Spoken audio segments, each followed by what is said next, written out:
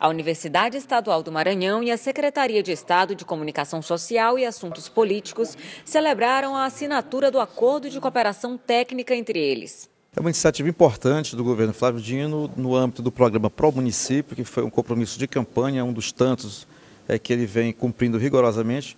E este agora é, ele aperfeiçoa uma ação que a Secretaria já vinha desenvolvendo de capacitação técnica de pessoas das prefeituras, né, de técnicos, de servidores, enfim, para que eles possam ter uma melhor performance, um melhor desempenho na obtenção de recursos junto à rede Sicom, a rede do governo federal.